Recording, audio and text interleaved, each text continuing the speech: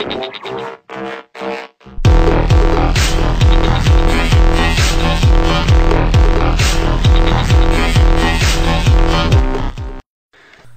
guys, here we go. I've got a fun little video here. This is going to be on my Tegra Note 7 and I'm a little excited about this video just because first time I've actually done some real development myself. Normally I just report on other people's work but uh, this was uh, actually kind of a collaboration between me and Matt Groff. I wrote the script and he helped me pull files and things like that to get this uh, functional. So this is going to be again on the um, Tegra Note, Note 7, NVIDIA Tegra Note 7. And this is going to be uh, what I call the Tegra Note 7 uh, Super Tool.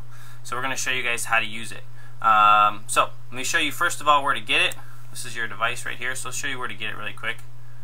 Uh, you can get it from right here. This is my website for uh, files. So these are all my devices, and you can click on the device you have. And right here is where I've got this thing, but I've got all kinds of goodies. And you're going to want to download this one right here, NVIDIA Tegra Note 7 Super Tool 1.1 zip. And go ahead and download it. Um, you can also check out my videos, obviously, on my rootjunky.com site or, obviously, YouTube. So, we got that kind of cleared. I'm going to show you where it downloads to. Basically, right here and you're going to extract it.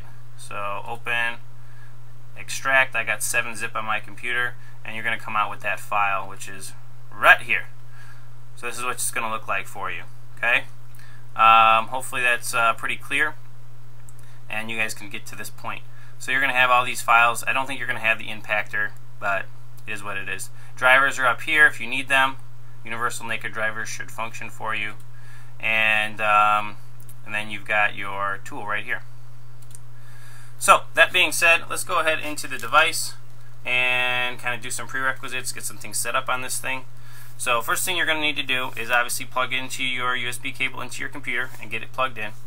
Um, once it's plugged in, you're just going to go over here and you're going to go to settings, scroll down to about tablet, and you need to get USB debugging turned on. So to do this, we're just going to go right here to uh, build number, and you're going to keep tapping on it and you see what it says right down there? You're almost a developer. You are now a developer.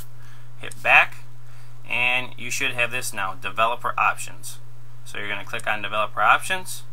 You're going to look for USB debugging. Make sure it's turned on on the top and then click on USB debugging little checkbox. Say OK. And your computer you can see my computer is picking it up. And then you're going to click on yes always allow from this computer and hit OK um, your drivers might be installing there. You might need to run some of the driver stuff. I have that folder up there in the top corner. So that's where you got to get to. Now that we're here, we should have, you can see the little Android USB debugging right here. Jelly Bean guy right there. That means you're connected and now we can start running the tool to show you how this works and show you some cool stuff on it. So here we go. This is the tool. So you got the file extract, the folder open. You're just going to click on this one start super tool and click on it. And we'll open it up like that so you guys can see what's going on. Alright so first thing we need to do is just press any key on your keyboard. And these are your options. So you have you can unlock your bootloader. You can fast boot restore the Tegra Note 7 on Android 4.3 if you have an unlocked bootloader because they're not signed images but they are images that will restore your device. Um, you can flash Clockwork Mod recovery or you can root your device in Clockwork Mod Recovery. Those are my options. So first of all, obviously, everything requires an unlocked bootloader, so we have to do option one first. So hit 1 on your keyboard and hit enter. And it talks about this is going to factory reset your device. Um, make sure you have your drivers installed, your USB debugging installed, all that kind of stuff gives you a little bit of uh, information on it. And then it says press any key to unlock your tablet's bootloader. So let's push the spacebar again and it's going to boot you into boot menu. Should look like that. Um, once you're here it just tells you what you're going to do next and when you want you're ready to do it just hit spacebar again. And it's going to talk to you about what options to press on the next screen. And here you go. This is your unlock bootloader screen. So all you got to do is come over here with your volume up and down. Scroll down to unlock and then hit power. And you can see on the computer it's uh, erasing some stuff over here, erasing user data, and it's going to wipe and factory reset your whole device. Um, as soon as it's done, you'll be back to the boot menu right there, just like that. And press any key to reboot device now. So just press any key. And you will have an unlocked bootloader, a factory reset device, and it's going to boot up here for the first time. It does say that the first time can take you know up to 10 minutes uh, on first boot.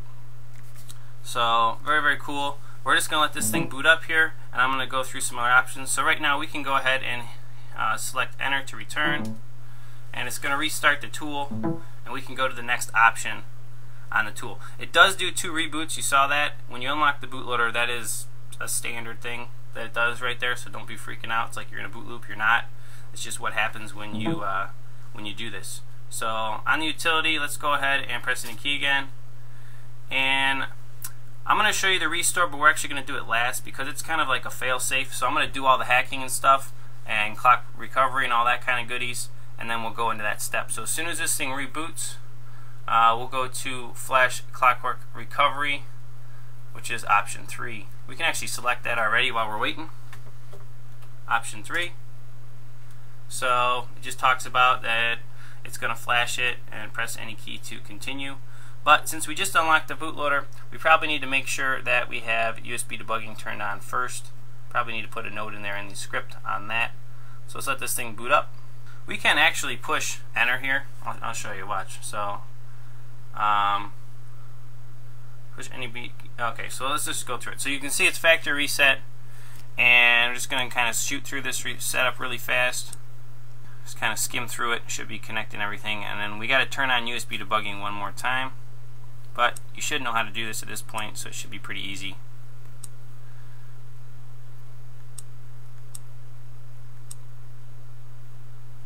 Here we go. Settings, about, build number.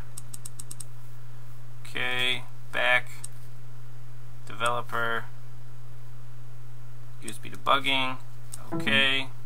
See it's connecting the computer again. Always allow. Okay. And we should be good to go. So let's go ahead and run the recovery script here. Press spacebar. And it's basically just going to flash recovery. And then it says you can do two things. You can scroll down to recovery kernel right there. Um, and push power to select it, or you can press any key to reboot. So I'm going to push any key to reboot. Um, we have recovery, but we're going to get SuperSU, and you'll show you recovery with SuperSU. So let's go ahead and reboot. Right there, you could boot into recovery and do an Android backup or any of that kind of stuff if you guys wanted to. Um, but that's how we got it. So enter, press enter again, and we'll restart the utility one more time. And again, continue. Alright, so as soon as this boots up, we're going to do this one. We're going to root device through recovery with SuperSU. So it's pretty simple. You can see Android debugging is still functioning. So we're just going to hit option 4. And it just says again, make sure it's USB debugging is turned on. Um, this will push SuperSU to your device and you'll boot into recovery. So there you go, just pushed SuperSU. So hit uh, spacebar enter again. And this will reboot you into recovery. Obviously this step requires recovery to be installed already. That's why it's option 4. Um, and going to go ahead and follow the directions on the screen here that tell you what to do here in recovery once it boots up. Now, you can see recovery is upside down, which is just a little annoying, but you can just flip the device around really easily, and it's not a big deal. It's just upside down, so we had to make it. So I'm just going to go ahead and show it to you. So you're just going to go to um, install zip, and the first one that's highlighted there is choose zip from SD card. Next one is zero folder. Scroll down to downloads. And then right there you can see there's the Super SuperSU zip highlighted. So go ahead and select it. Again, say yes to flash it. It's going to go ahead and flash really quick. There you go. So then we're going to go back. And then the top option right there says see reboot system now. So select that. And you should have root access. Everything should boot up. Um, and that's pretty much it. So over here in the script, you can just push any key and hit enter, and it'll again restart the utility. So you can see we do have um, clockwork mod recovery, which you can make your backups, you can flash your different stuff, ROMs and things like that. Obviously, I just flashed Super SuperSU with it, and I will show you that Super SuperSU is on the device now. Right there it is. Super user or Super SuperSU. No thanks. There we go. You have root access. You have custom recovery. Uh, you have unlock bootloader all there running with this pretty simple script.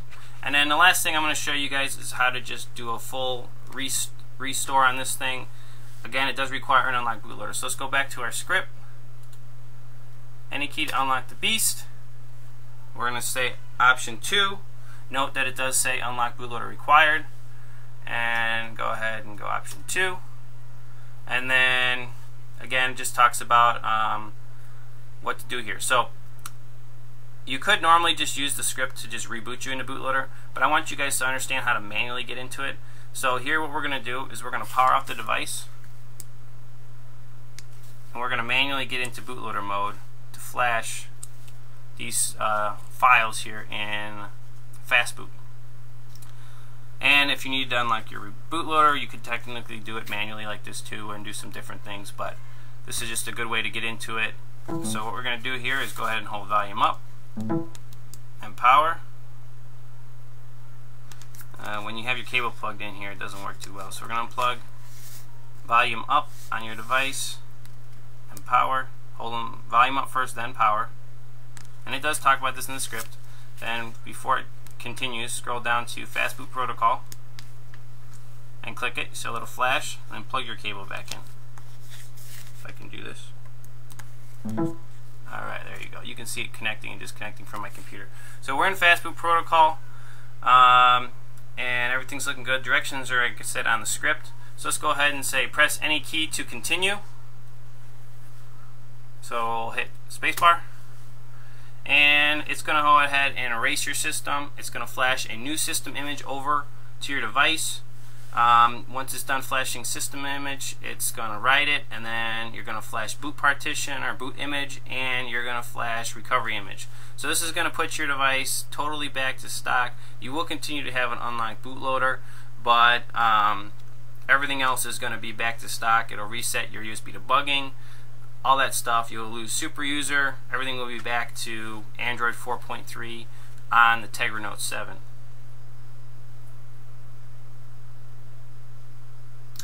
Okay, there you go. Um, then it just says you can you can choose here. So you can do two things here.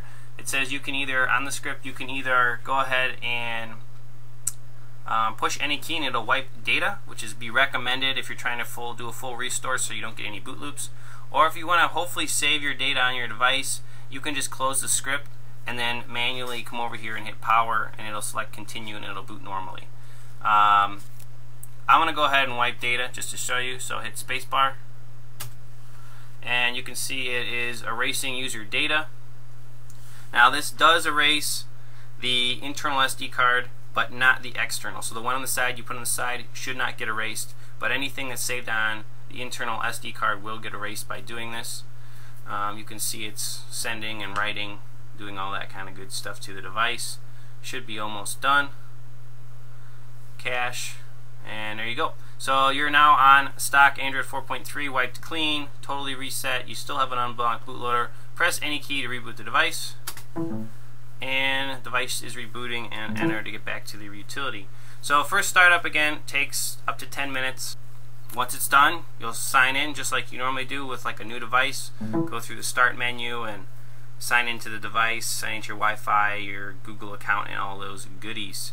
Um, that's pretty much it. That's how the script works right now. Maybe I'll add more features to it as time goes on and give you guys an update. But uh, for right now, that's what I've got. Again, huge thanks to Matt Groff for helping me with this. Uh, huge thanks to Chainfire for SuperSU. Um, and all you guys who worked on the Tegra Note 7 doing some development here and there. This has been a fun device for me, learning a lot on this thing. So I'm going to show you just the startup really quick, and that'll be wrapping it up. You guys can go ahead and close out the utility. That's all four steps and how they work. So we'll go ahead and close it. And you can close out your folder with all that stuff too if you want to. Um, I'm going to make a quick note here. This is called Impactor. If you want, you can get it from the same download page under Programs. And it's got an easy way to install drivers once you launch it, which is pretty cool.